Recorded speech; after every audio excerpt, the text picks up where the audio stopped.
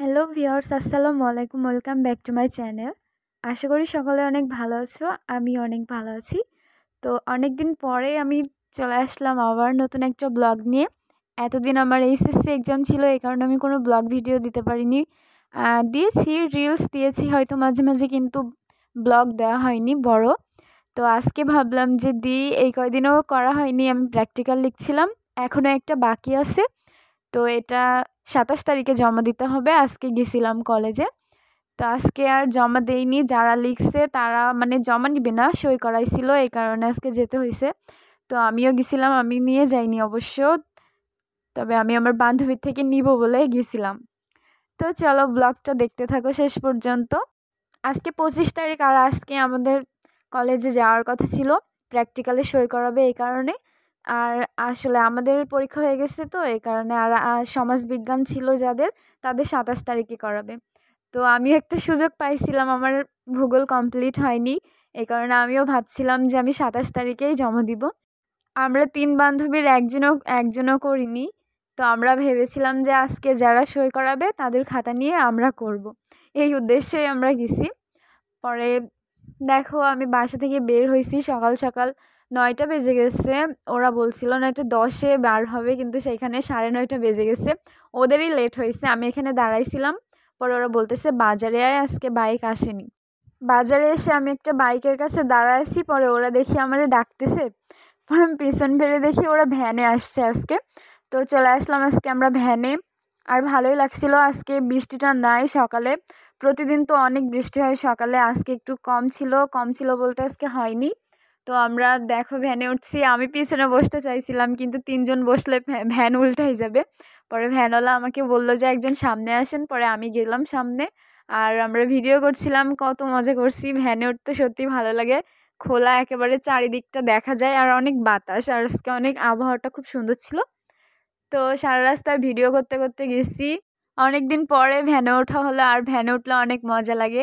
খুব ভালো লাগে। আগে আমার জুতা খুলে যাইতো এখন আর যাই না, এখন আমি বড় হয়ে গেছি।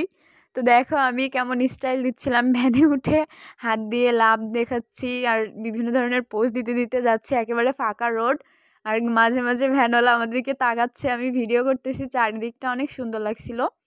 একেবারে ফাঁকা রোডে ভ্যান চলতেছে। সামনে থেকে পিছন থেকে সব দেখা যাচ্ছিল। খুব ভালো লাগছিল। এত বাতাস সামনে, ওরা বলতেছে, পিছনে তো বাতাসই নাই। আমি বলতেছি, ভালো, আমি এখানে বসছি, এখানে অনেক বাতাস। পরে আমরা এখান থেকে নামলাম ভাটার মোড়ে। এখানে উষা একজনের কাছে প্র্যাকটিক্যাল দিছিল করার জন্য।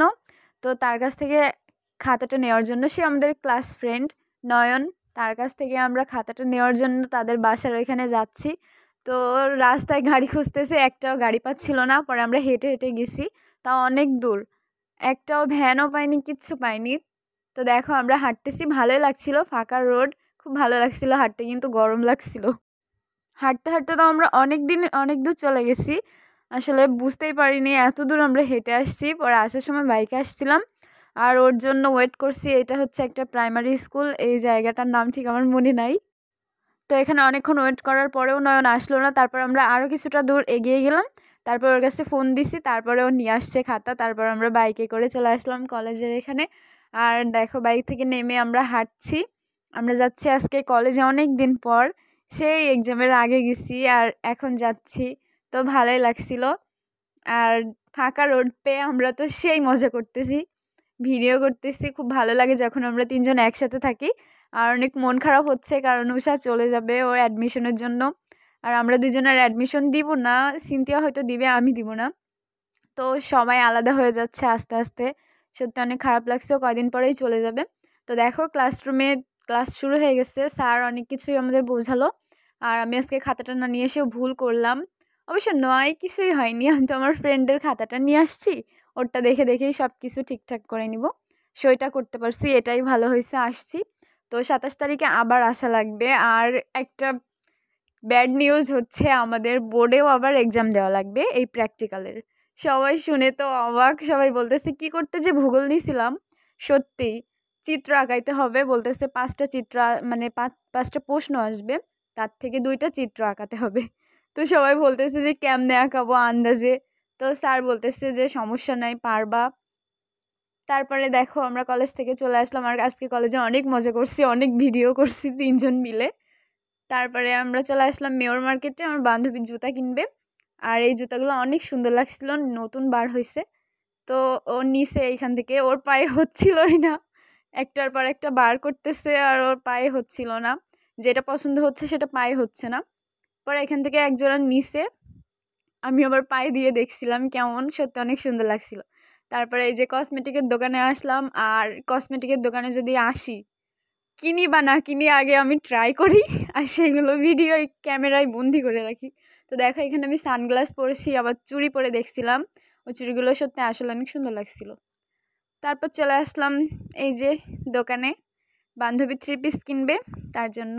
এইভাবে আজকে দিনটা পার করলাম। তারপর বাসায় এসে খাওয়া দাওয়া করে রেস্ট নিয়ে এই যে রাত্রে আমি আঁকতে বসলাম। আমার ভিডিও যদি ভালো লাগে তো লাইক, কমেন্ট, শেয়ার করে দিবে। এতক্ষণ আমার সাথে থাকার জন্য সবাইকে ধন্যবাদ। সবাই ভালো থাকবে, আল্লাহ হাফেজ।